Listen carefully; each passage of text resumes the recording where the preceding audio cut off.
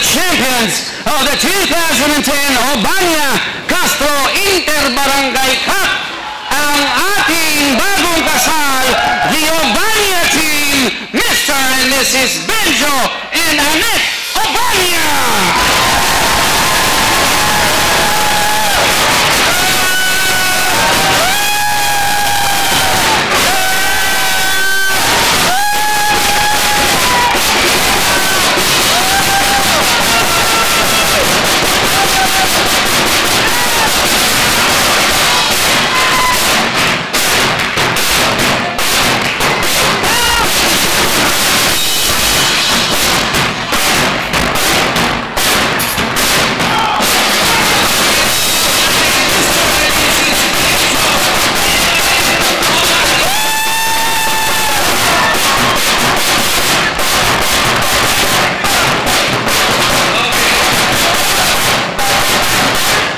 Lord.